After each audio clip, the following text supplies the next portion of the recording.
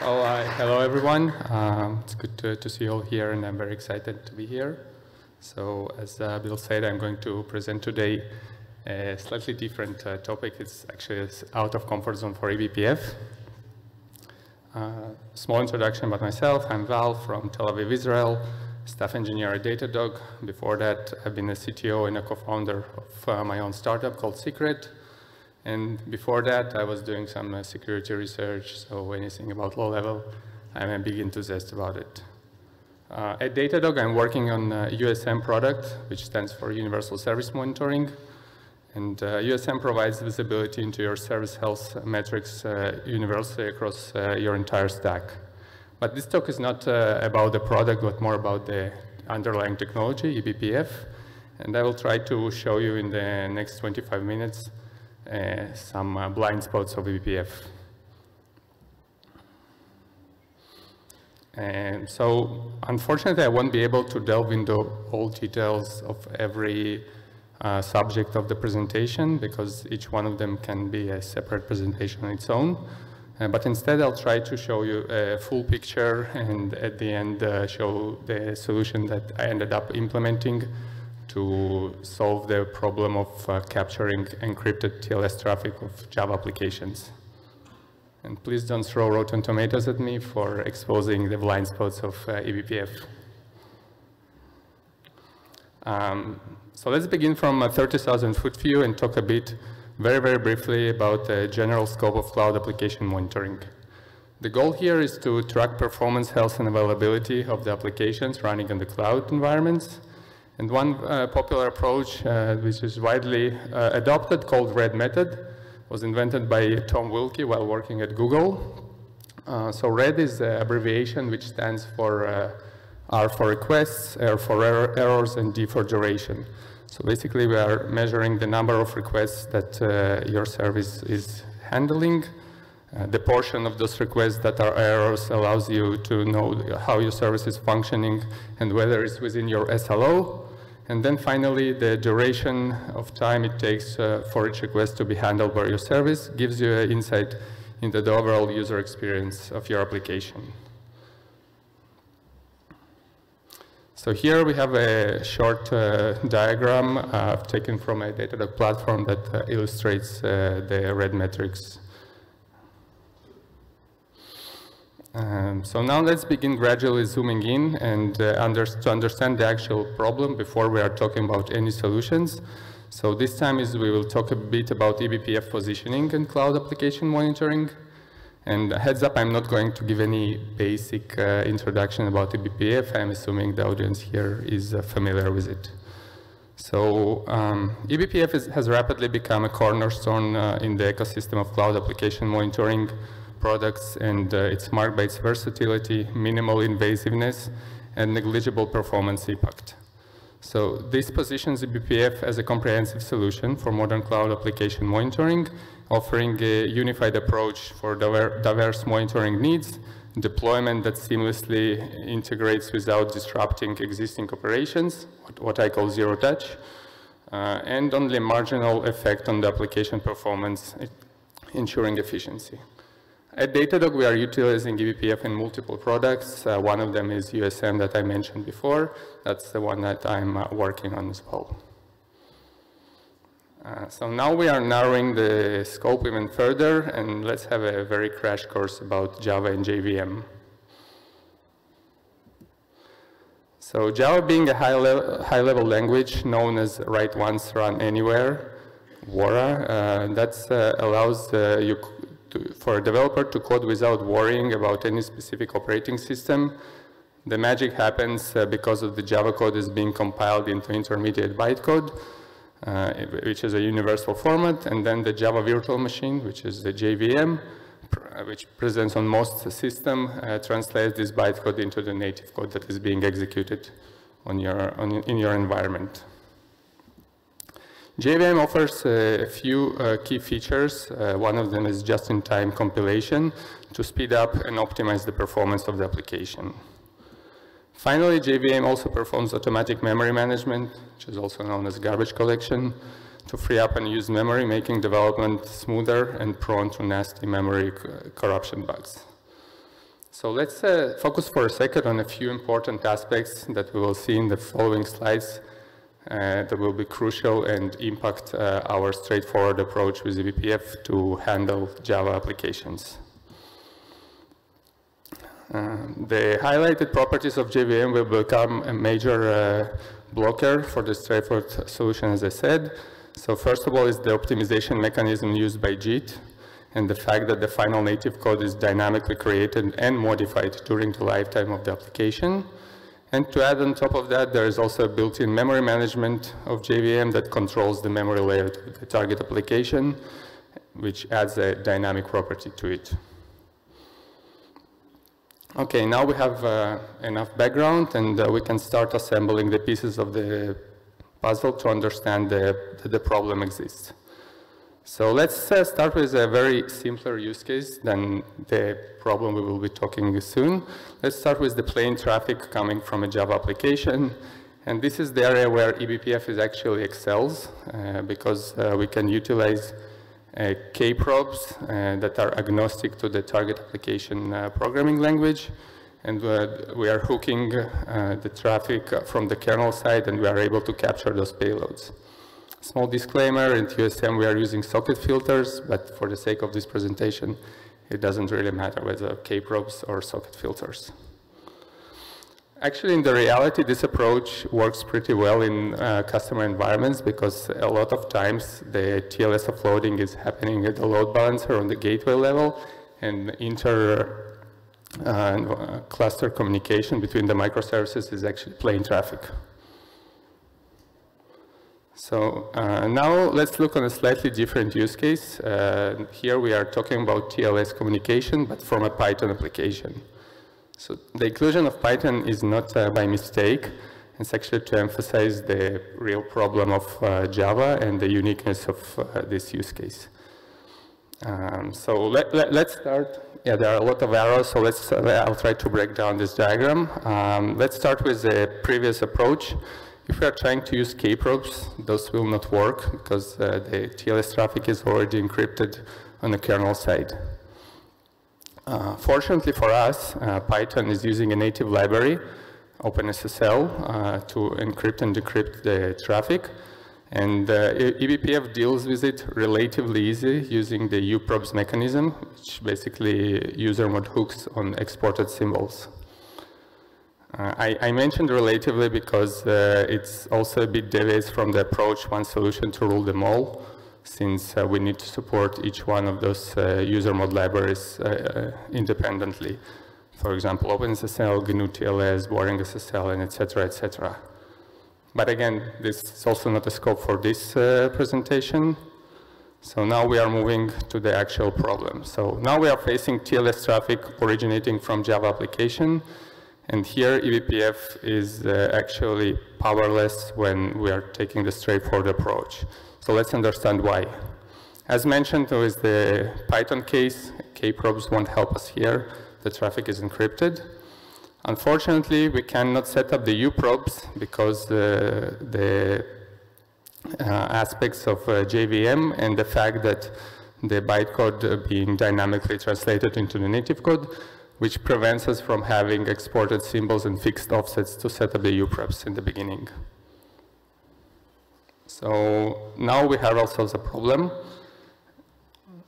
And uh, we are trying, just to clarify the problem, we are trying to get red metrics that I mentioned before from a Java application that are using TLS encrypted uh, traffic uh, as a communication. And uh, to add on top of that problem, let's add a few more requirements that uh, we want to match when we are trying to develop a solution. Uh, so similar to general requirements of the USM product, we want to be non-disruptive and have a zero-touch deployment. So basically, we don't want our customers to ask making any changes to their application or redeploy them. Uh, obviously, we want to support different flavors of different uh, HTTP libraries written in Java and also different Java versions. Uh, and lastly, we want to be uh, able to run on containerized and non-containerized environments and uh, hopefully also have a minimal resource usage, resource usage overhead. Uh, so to begin with, I'll present here a slide that will uh, show a pseudocode for the full solution, and then I'll dive into each one of the steps uh, in the following slides. So full solution will contain four different steps. The first step will be detection, that we want to detect the target application, Java application, that we need to uh, capture its TLS traffic. Then we will have the injection phase, and uh, in, in, this phase we will inject a Java agent, which we will talk uh, in a few minutes about it, that will allow us to uh, capture the traffic. How we are going to do that? By using instrumentation uh, technique, which is a mechanism that is built in in Java in order to instrument the target classes and uh, uh, capture the plain payload just before the encryption of the ingress traffic and just after the decryption of the egress. And finally, once we have this payload in our hands inside the target Java application, we would want to extract it somehow into our existing pipeline to the USM uh, product for further processing.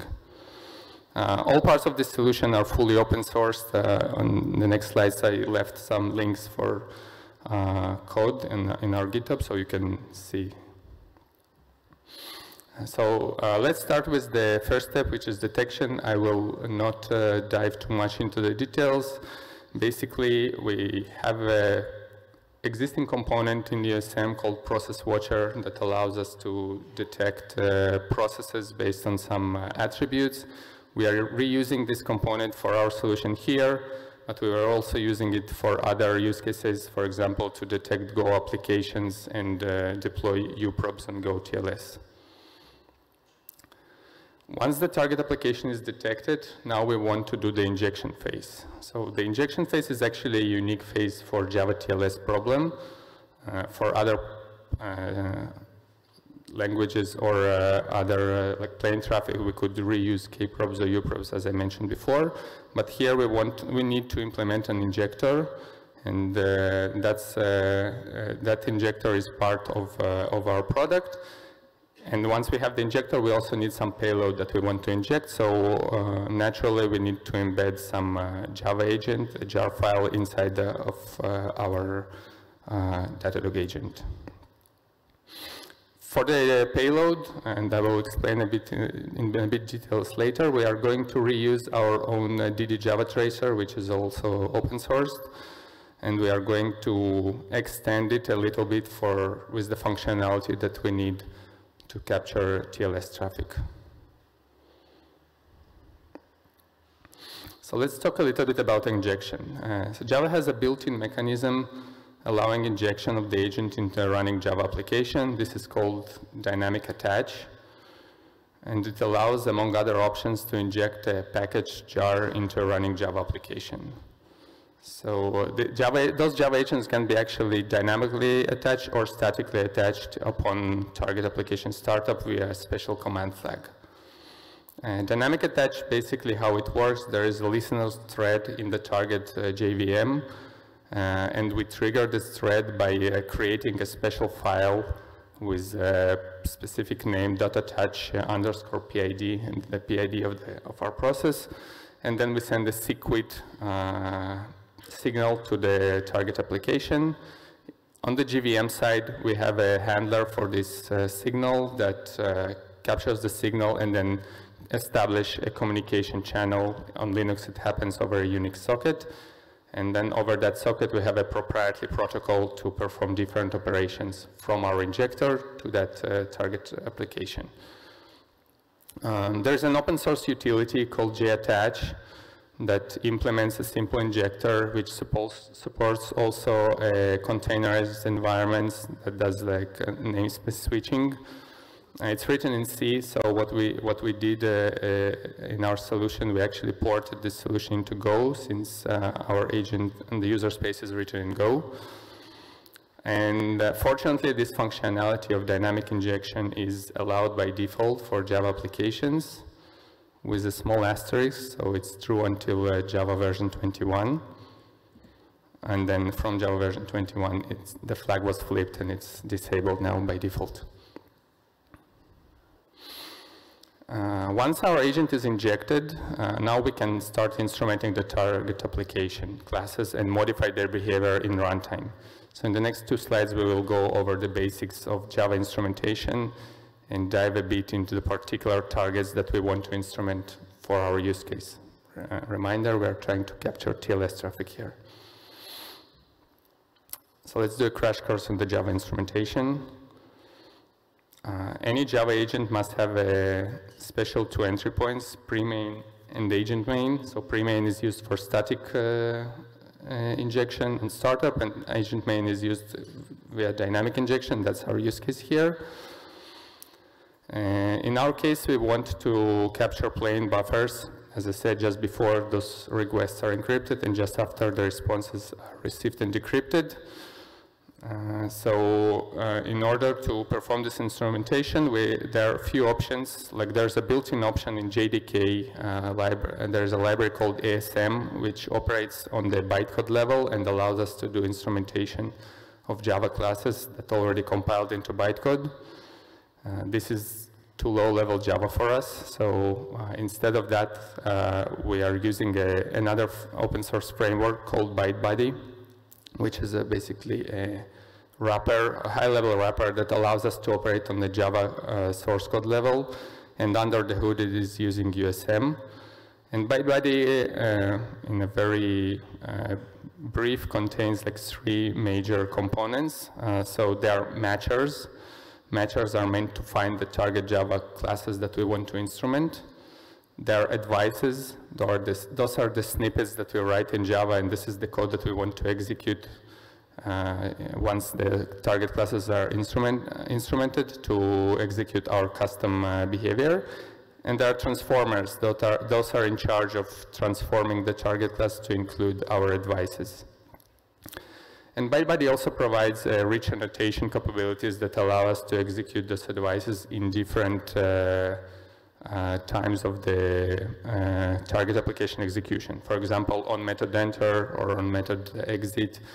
Uh, plus, it gives us direct access to different uh, variables and arguments of the uh, target function, like a return value or this pointer, which is the current class pointer in Java, and more. Uh, so uh, now let's let's talk a little bit about what are, what do we want to actually instrument. Uh, so on the Java side, there are a lot of different implementations for different uh, HTTP uh, web frameworks and uh, network frameworks. Just taken from our own documentation, this is just a sub-list of different frameworks that today the Tracer supports. Uh, but as I mentioned before, one of our goals is try to minimize the, the solution and have a like sort of like one hook to rule them all. So instead of targeting the application layer, we want to go uh, on the network stack a bit uh, down and go for a session and presentation layer. And uh, here I have a small diagram just to illustrate the solution. So there are different uh, frameworks like Apache Client, OKHTTP, and a few others, but they are all using the same uh, libraries under the hood. Uh, so they basically classify into two different groups. There are synchronous communication and asynchronous communication. For the simplicity, uh, in this demonstration, I will be talking about synchronous present uh, communication. And uh, in this case, uh, all those frameworks are using SSL socket, which is part of the JDK Java base module. But the asynchronous uh, case can be handled in a, in a, similar manner with just a few extra caveats of asynchronous uh, programs. Yeah, this one. Uh, so now uh, let's show some example of the advice, like what is the instrumentation, how does it look like. As we saw in the previous slide, we want to target the SSL socket, but SSL socket is actually an abstract class, and there are different uh, implementations of this class. So uh, our matcher uh, will look something like that. We are targeting uh, SSL socket uh, deri derives, which are concrete classes.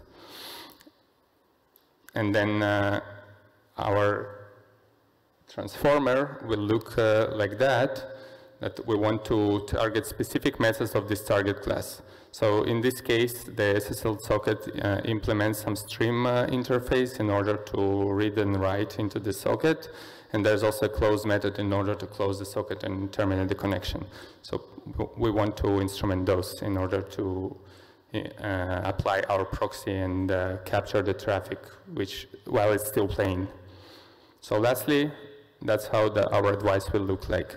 So for example, uh, here we are instrumenting the get output stream function of the SSL socket class, and we are uh, replacing the return value.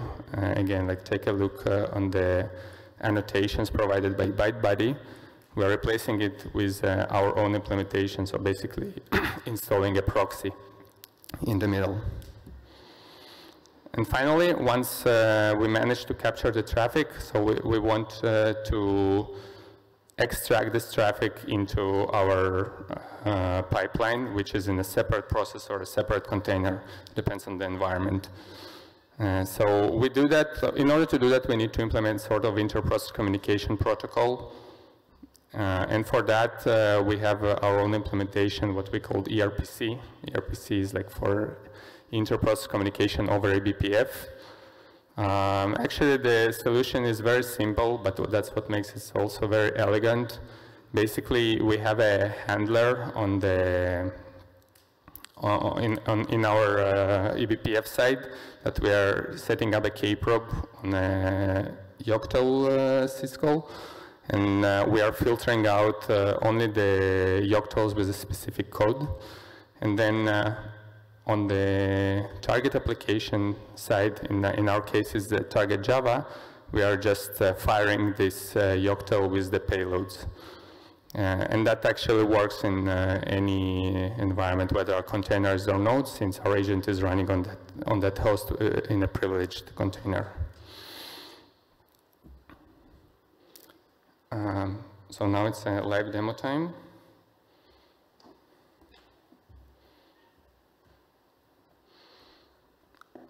I will start with running an agent. This is our USM product. And let me show here. Oh, right. okay. Yeah.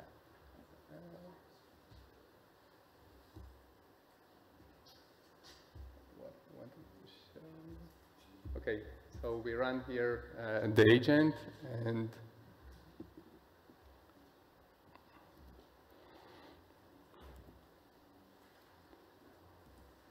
we're going to execute a Java client that will just send uh, HTTPS uh, get commands to http.org slash UUID every second.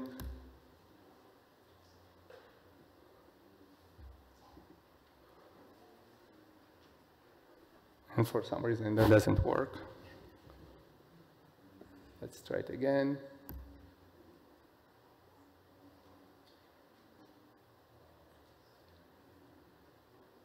Hmm.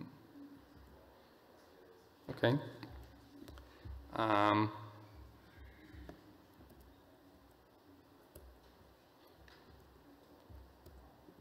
okay, so for, for this case, I have a pre-recorded demo.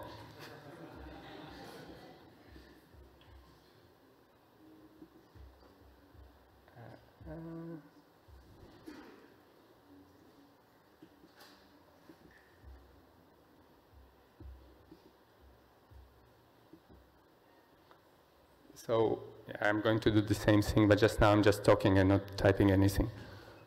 So we are running an agent here uh, with uh, config flag enabled for uh, Java TLS monitoring, as I highlight here. Then uh, what we are going to do, we are going to do a curl to some debug uh, Unix socket to see the payloads that we capture, but now we didn't see anything. Now we're going to run the client, which will send the request to http bin slash UUID every second. And now we are going to to, try, to send curl again to that socket, and we will see the payloads. So I think that will be it.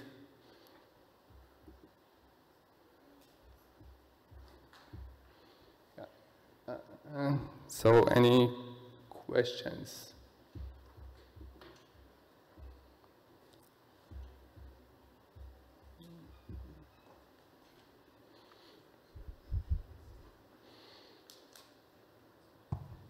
Yes, so we have time for one question, if anybody has it, one.